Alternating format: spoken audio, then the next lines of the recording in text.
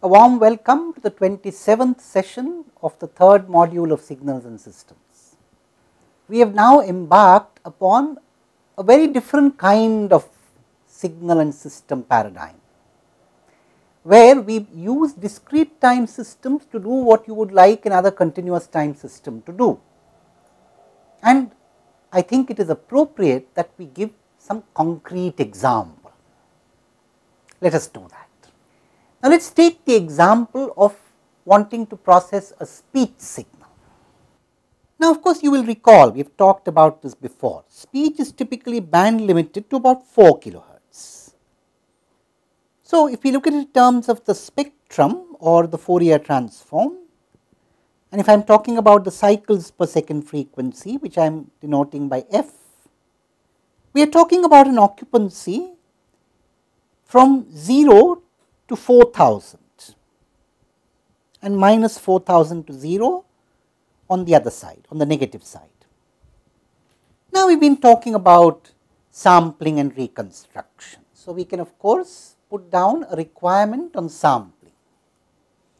We need to sample the speech signal at greater than 2 into 4000 or 8000. When I say hertz here, of course, I should rather write samples per time, per unit time. So, for example, remember you know we wanted a margin. So, let us choose a sampling rate of say 10 kilohertz, whereupon what we expect is that if we have the speech spectrum, let us take what we call a prototype speech spectrum or let us just draw some spectrum for the speech signal. So, you know instead of keeping on writing 4000, I will divide f by 1000. So, I will write 4 and minus 4 here and I have some spectrum. I will just show it by something like this. Now, you know I must caution you that when we make diagrams like this, it is essentially for conceptual understanding. We must not take the shape of the spectrum too seriously. You see, it is just to explain what is going on and in fact, when I say a prototype spectrum, I am talking about simple shapes where I can ensure that every point in the relevant part of the spectrum has a different magnitude and I do not bother about the phase. Anyway, coming back to this, if we sample this, we get a spectrum that looks like this. I compress the frequency axis a little bit and so on. This is the original spectrum here and these are the aliases. Now, what are we doing when we do discrete time processing? We are not in a hurry to reconstruct and that is the whole theory we are now going to develop. We are not going to be in a hurry to reconstruct. We would like to do something to these samples inherently. So, I have this spectrum of the sample signal, I have a stream of samples coming. I operate a discrete system on them. And now, let me recall how I understood discrete systems. How do I describe a discrete system? Let us write that down. The discrete system takes the sample signal as input and produces a concurrent output train. What is the input sequence here? The sequence of speech samples. It produces an output sequence. And this would again be a sequence of desired speech samples or processed speech samples. And having generated these processed speech samples, you can now subject it to a digital to analog converter. What is a digital to analog converter? It is essentially a reconstruct. Now, that reconstructor of course, needs to have a few analog components which we have not discussed in detail and that is also true of the digitizer. So, you have these analog samples which have come from speech. How could they have come? For example, you could have been recording the speech. Today of course, we know about digital recording media. that is not a problem. I mean you could have a digital recording device and then automatically whatever is being spoken speech, speech is thought of as analog and then you know you are essentially using a device which automatically converts it first into a train of samples and then each sample generates a stream of bits. Now you know since we do not assume a knowledge of electronic systems for this course, I am not going into the electronic circuit here, which could do analog to digital conversion or digital to analog conversion. But for those of you who are interested and who have a background in electronics or electronic circuits, those of you who have a hobby are interested are strongly encouraged to go and look up these terms analog to digital conversion in a book on digital electronics or in a book on you know electronic systems, they are not difficult to obtain. Look up analog digital conversion and digital to analog conversion. What I will do right now is just to give you a quick feel of the idea behind analog digital conversion. So, you know there are different kinds of analog digital converters. One of them is called a successive approximation converter. So, I will just give you the principle of it, you know how you go from the continuous time sample that you had that is the analog value to the corresponding stream of bits which represents it in the digital memory. Let us say you have an analog sample which has come and let us assume that you have a device which can make an analog comparison. On the other side, we have one memory or one discrete time stream of bits.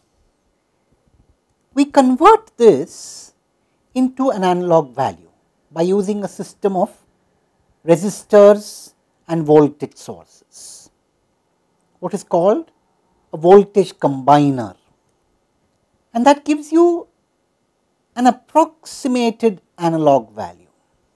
These are the two inputs to the analog comparator the analog comparator generates a difference or it says more or less generates a binary output more or less which then tunes the discrete stream of bits. So, you know let me explain what are we really doing here. For example, suppose this discrete stream of bits had 8 bits in it you know I think many of you would understand what I call a binary representation of a number. So, for example, in a binary representation of a number, you give places each of which holds either 1 or 0, just as when we write a number in the decimal system, we give places and in each place we write one of the digits from 0 to 9. We of course also have what is called the fraction point or decimal point and that concept would be there in any representation binary representation or decimal representation. And the idea is you look at the most significant place you know let me take an example here.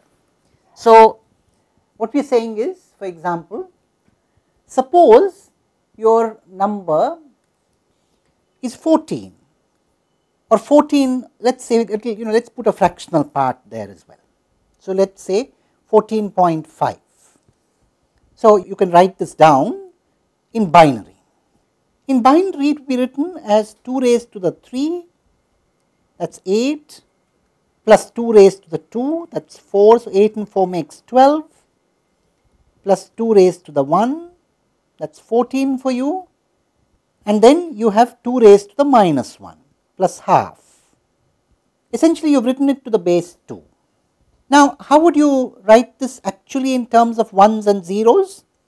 You would write places which denote powers of 2 with a binary point a fractional point.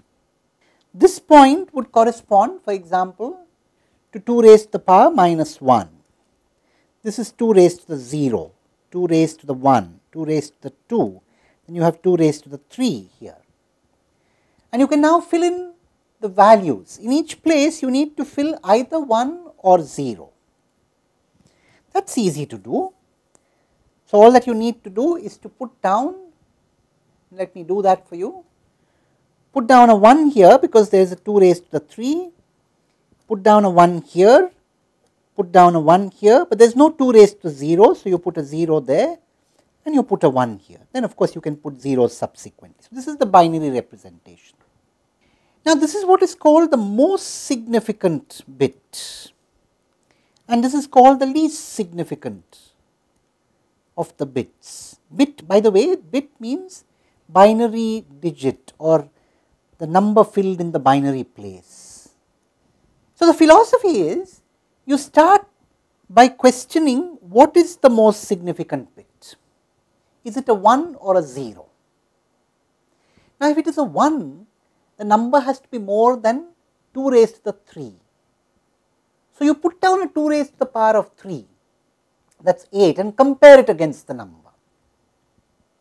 If you find that the number is more, then you should retain, retain 1 there. In contrast, suppose for example, we had the number 7 and you made 2 raised the power, the 2 raised to the power of 3 place equal to 1. You would get the number 8 on making it 1, which is more. So, you know the number actually is less.